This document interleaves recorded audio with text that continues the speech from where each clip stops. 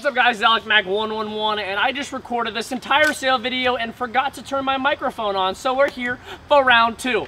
Um, basics for this, you guys can contact me on Instagram is the best at Alec underscore McLean or Alec Mac 111. It's in the links in the description. I take Venmo, Cash App, or PayPal. I ship stuff literally within the next day or two usually unless I get a ton of orders which sometimes I do these sale videos. Um, but I have a ton of guns for sale. I also have some gear. I have some optics and stuff that I'm not gonna list because it takes a lot of time to do all the pictures and stuff. But if you need a specific optic like a T1 or an EOTech I have them. So just be like hey I want this gun and I'd like two mid caps and an EOTech and that'll work great and I can do package deals for you guys. I will give you guys deals and discounts. I'm also throwing in something free for everybody like a gear piece just so you guys can have some extra stuff. I have some extra gear pieces and pouches and stuff that that I just am kind of offloading. So I'll throw in some stuff for that and then also throw in um, free stickers if you spend under $500 and then a free patch if you spend or free patch and sticker if you spend over $500. But I got a lot of stuff today, a lot of HPA stuff, a lot of AEGs. I'm gonna go gear first, then HPA, anything, and then we're gonna go AEG and then gas blowback and then pistols as well at the end. So it's about to be a ride. Also, winner of the last video, it was $700 for the collection, so message me uh, on any of those things as well. You get a free patch and a sticker. I will send to you free of charge. Ho! All right, up first we have backpacks. I've not really done this. So this is a Flyye three-day assault pack, and this is a Fieldline um, Pro Series nice backpack. I just have too many backpacks. I love backpacks, but these are some big ones. These would be great for an all-day airsoft event or if you're playing a Milsim West event. Um, this is a Flyye 1000 Cordura nylon range green one, and this one's a really nice camo one. Both are brand new, unused. This one still has the tags on it, and this one I just left under my bed. Up next is a multi-cam plate carrier. This one's really nice. I think this is just a basic Condor plate carrier, um, but it's got all the patches and all the pouches will come with it. Um, it's a really nice setup. Does not have plates. Actually does, but they're like cheaper plates that are in the inside. Um, but it's a nice little plate carrier for a beginner. All right, up next we have a basic Condor chest rig. This thing's nice, just a basic uh, Coyote Brown one. And then this is Justin's old battle belt. This is a Flyye multi-cam battle belt. It will come with this black pouch for double M4s and double pistols. And finally for the gear section, we have basically my helmet, but it's a whole setup that has not been upgraded. Um, this is an Emerson fast helmet with the holes in the top. It is a multi-cam fast helmet. These are awesome, great base helmet setups. It does have a Z-Tac headset, and then we'll come with a Baofeng UV5R as well as a push to talk. So basically this is just a comm setup for anybody that wants it. I am not using this. It's kind of like a backup for me. And so I'm selling this all together. But this would put you perfectly for any Milsim event. It's got a great little speaker. You can hear really well out of the ear cups as well. Will come with the flag patches and then the lights up top I think are dead. Um, but it's a really great condition helmet. It's been used very, very little and it functions flawlessly. All right, up first we got Polar Star Central. I have six Polar Stars today. These things are awesome. Um, I love Polar Stars, if there are those of you that do not know. This is a Polar Star Jack and a Krytac Mark II SPR. Gemtech suppressor on here. I got RVG from Magpul. It's got candid iron sights that it will come with. It will not come with this optic unless you want to include it. I just have a short dot running on it right now. Ares Amoeba grip, speed trigger. It does have a ProWin hop-up and an upgraded bucking in it as well. I think the barrel is still stock, but actually comes all the way to like right here. So I think it's a stock barrel, but it's just a little bit longer than the stock one. And then it comes with a LE stock. This gun is in like new condition and functions very well. Up next, number two of three for the jacks. This is an Elite Force 4 CRS. These were awesome. It's got a jack engine, like I said. It does have a Mad Bull black Python barrel, a upgraded bucking, and a ProWin hop-up unit. I don't actually know what the suppressor is, but it's nice and it works well. Um, this is just a looks PEQ box. It will not come with this as this is a shot out sight mark, but it does come with a real steel PTS stock and a fake PTS grip. These are really nice setups. This is like the first Elite Force full metal setup. It's basically OEM VFC for those of you that do not know and it is a great little gun. All right, jack number three is up. This one I've actually had in two sale videos ago, and I don't know if people just don't like the SIGs that much, but this is a jack ICS uh, SIG. It's awesome. It's a 551, 552. Um, it's really, really nice. I love it. I just am going to use that G&G F2000 that I got, and I have my other M4, so I really don't need more than two Polar Stars because I think that's a little bit excessive. Um, it has a really nice grip here. It's got a speed trigger as well. It has an upgraded tight bore, um, R-hop. It's just been really, it's been set up by a guy that was an engineer and he did all this work on it to make everything fit and it functions awesome. It really shoots well for a Polar Star, especially for a jack. And it's a really nice lightweight build. It's just super unique. But yeah, super sweet gun. Up next, we have the first of the Fusion Engine builds in this video. This is a Noveske Um, up here up front, it is an Ares Amoeba stock build. I believe the lower is Amoeba, and then I'm not exactly sure what brand the upper is, but the lower is the Amoeba plastic, and the upper is the metal. Um, like I said, Noveske up here. It's a real Sig Sauer rail, which is actually really nice. It will come with this Stark Arms vertical foregrip, which I love. Will not come with this ACOG unless you want to add it extra. Um, and then it comes with like a basic stock and then a A2 style grip. I think this is a Gen 2 or Vision 2 engine.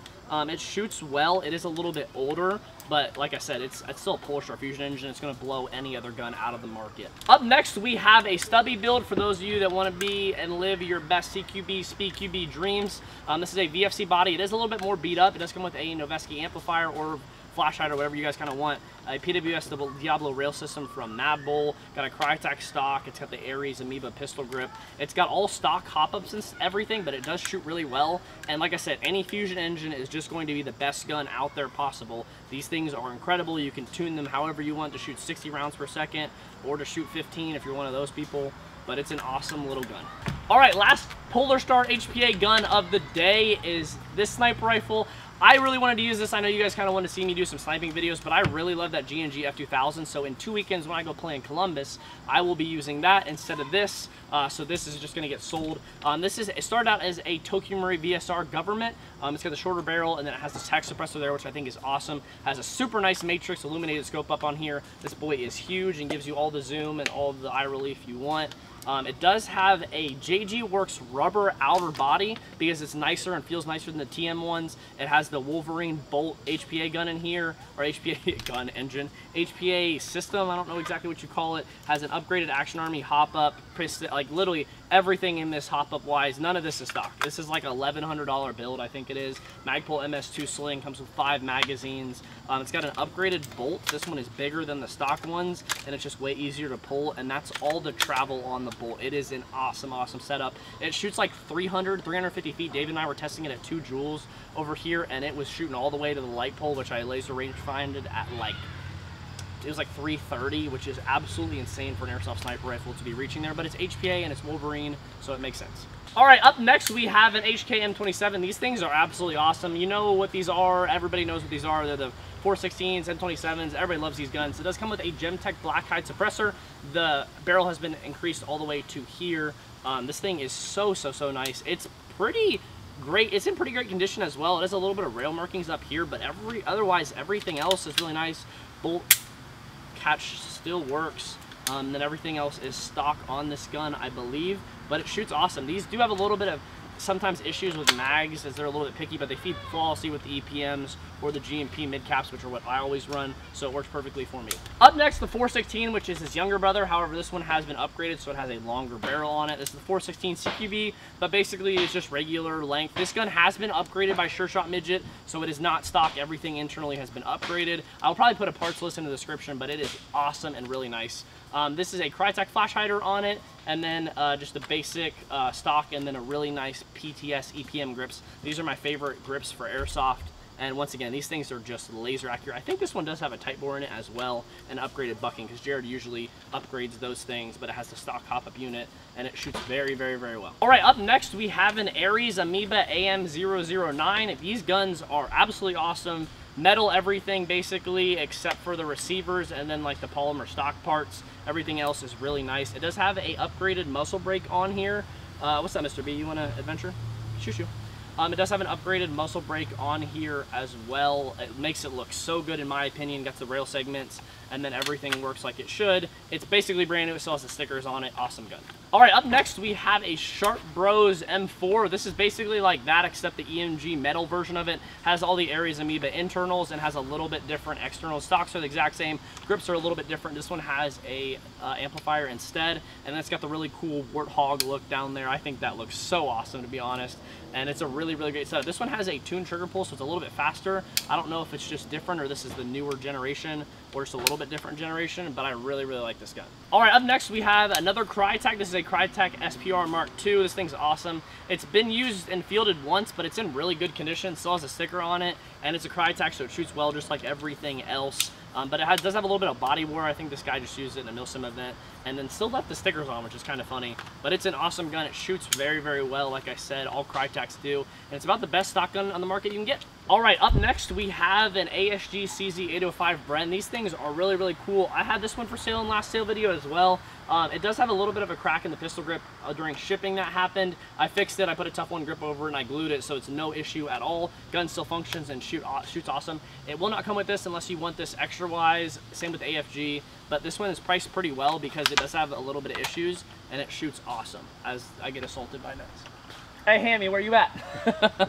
All right, up next we have a stamped steel CYMA AK. This thing is absolutely awesome. It is like new. It will come with five GMP mid caps as well as a scope riser on it. Um, it does. Only issue is that during shipping, it got the charging handle got a little broke, but you can still access it and everything. Nothing is different. You don't really need that anyway. And it does have a folding stock, which is pretty cool. These are like the platinum or the higher end version of the CYMA AKs. Anyways, back to the gun. This is a like new KWA LM4 PTR. It's in really, really good shape. I think this thing, he said he got it as a replacement for his other gun. It's been used like once. He put the MIAD grip on it, same stock.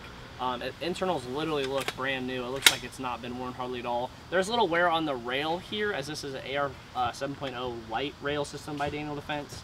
Um, it does look a little bit weird with that kind of gap as the barrel goes all the way here, but it was designed for range rather than looks, and I think it's really solid. So somebody that loves Jeep BBRs will love this gun. All right, up next is the plastic springers of the group. This is a spring FAMAS, this is a spring AK-74. These are really cheap. This was a shell ejecting. I don't actually know if it works. This is the one that released all the crust in one of those videos, but these are super cheap. Will make great little starter guns for your kid or something like that. Up next, same kind of thing. This is a CYMA shotgun. This is just a mag-fed shotgun. It's really nice. I got it in this e-bike mystery box. So it's cheap, but it's perfect. It'll last somebody for a good amount of time. Kind of the same thing your kid, or if you want to use in backyard airsoft games, it would be perfect for you. And last of the Springers, the actual nice one. This is the gun that uh, I got screwed over with because Doug sent back and messed me up on PayPal. So this is back up for sale. It will come with four magazines, nice little scope. It's a AGM slash JG slash one of those brands, L96, something Matrix. I don't 100% know as they're all kind of made in the same factory, um, but I will ship it in two pieces, so it'll be two pieces, but it has the screws in the body, so it makes it a little bit easier for shipping, and that's how it'll look. It will come with the scope as well. Gun function's awesome. It's There's nothing wrong with it. It's like new, like I said, um, but it, I just don't have any use for snipers. You guys know that I don't really use snipers at all. And last but certainly not least is the gas blowback section. I have three pistols today. First one is a HK USP 45. This is a Kitty KWA. It will come with three magazines. All are like new. This gun is in awesome condition. And it will also come with a Blackhawk Serpa holster. I do have the paddle mount and the belt mount as well, so you can mount it kind of any way you want. If you want to mount it MOLLE, you will have to pick those up extra as they don't come with them stock. These are great little holsters. They're probably my favorite one. Back when I ran airsoft pistols, I used to use these all the time. Uh, magazines, none of them leak. They're all perfect, and it's a great little starter pistol package if you want to run this.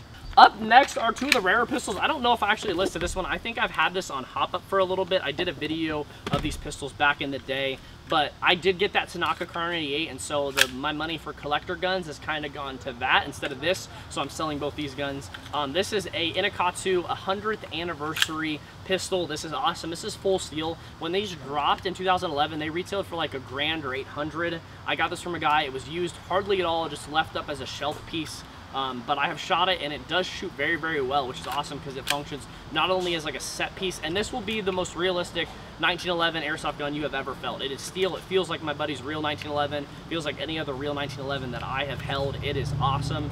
Um, it does come with a CO2 magazine, so it helps the slide blow back a little bit more, and then I'm also including a green gas magazine if you want to not have as much recoil, but it needs the CO2 honestly in order to recoil properly. But this is a rare, super cool piece of history. There will be a limited target market for these next two as they are. Same with the sniper. It's just a little bit more limited. Everybody can buy an M4, but not everybody can afford and or wants one of these super limited edition high quality airsoft pistols. And last but certainly not least is the Tokyo Marui Desert Eagle. I can't remember if I've listed this before. I talked about this pistol. This would be like the coolest Black Ops Zombies Revelation style airsoft event pistols in the world. Um, I just don't have any use for it. It does shoot really well. It shoots awesome. It is something that you can use again, like I said with that other pistol, as a collector's piece, or you can go blast people all over the field with. It's up to you. Kind of depends on what you guys want, but I really like it. I just, like I said, I spent all the money on that Tanaka Kar 98, so I no longer am going to keep this. It was fun to use for a time, and now it's time to send to a newer home. I'm not exactly sure what these are worth, so I'm kind of taking offers on it. Um, I might have a price in the description if I've done a little bit more research, but they're so few and far between, it's kind of hard to tell with these super rare airsoft pistols. All right, guys, this has been Alec Mac 101. Thank you if you stuck around to the end of the video. Like I said, message me on all those platforms below. That's the best way to get in contact with me, and hopefully we can work out a deal, and I will ship you out some guns sooner rather than later. I am throwing in, like I said, uh, I'm going to throw in a nice gear piece to anybody and everybody. I'm going to throw in stickers and patches for free, so we'll see what happens. You guys are the best.